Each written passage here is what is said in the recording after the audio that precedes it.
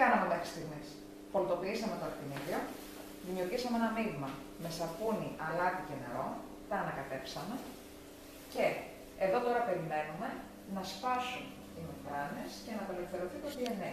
Στη συνέχεια θα διηθήσουμε αυτό το μείγμα και θα προσθέσουμε σταδιακά παγωμένη εθανόλη.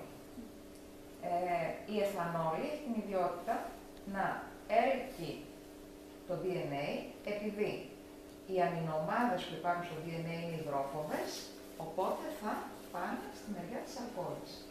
Και θα περιμένουμε